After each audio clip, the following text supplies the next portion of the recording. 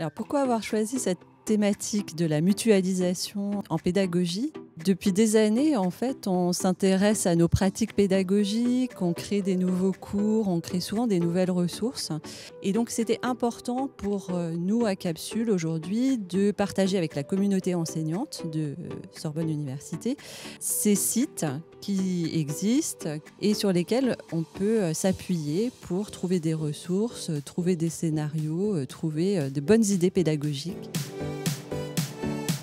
Je pense que le Covid a provoqué un changement de pratique ou tout au moins une prise de conscience euh, que la mutualisation est essentielle euh, pour gagner du temps. Donc euh, il y a un changement de pratique qui s'installe, mais qui est difficile à orchestrer et qui est souvent individuel.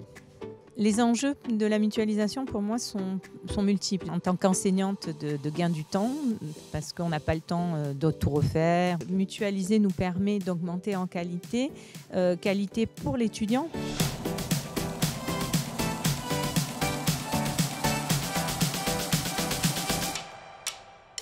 Le concept des ressources éducatives libres était euh, né à l'UNESCO en 2002 pendant dix ans, il y a eu un grand euh, travail qui a été fait par l'UNESCO et par nos partenaires pour euh, la mise en place d'une sensibilisation sur les atouts de la mutualisation. Je pense que les plus grands enjeux de la mutualisation, c'est le partage des connaissances, euh, de pouvoir construire ensemble et contextualiser aux besoins des défis locaux.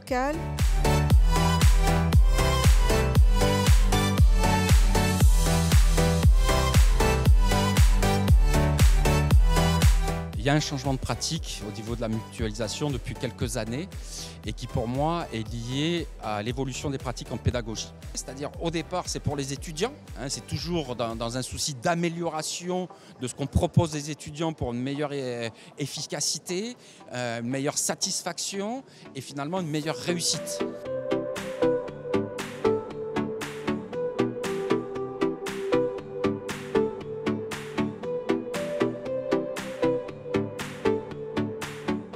Qu'on manque euh, d'informations pour savoir où aller chercher euh, des ressources qui seraient libres de droit et euh, qu'on pourrait modifier. quelles sont les bases de données qu'on peut consulter? Là, je pense qu'on a vraiment besoin d'aide des ingénieurs pédagogiques de Capsule. Comme chaque année, c'est un sujet différent qui est abordé. Et là, ça m'a permis de compléter ce que je savais, découvrir des nouvelles des nouvelles pistes sur la mutualisation des documents, avoir aussi euh, euh, redéfinir un peu quels étaient les documents à mutualiser et puis voir comment ça s'intégrait sur un cadre beaucoup plus large avec euh, les, recommandations de l'UNESCO. Ça m'a permis aussi de, bah, de, voir ce que faisaient d'autres collègues dans d'autres établissements, et ça c'est toujours intéressant. Et ça m'a permis aussi de prendre un peu de recul sur une pratique que j'avais déjà, déjà fait appel à Capsule de manière extrêmement ponctuelle sur des besoins Moodle par exemple. Je sais que Capsule est là.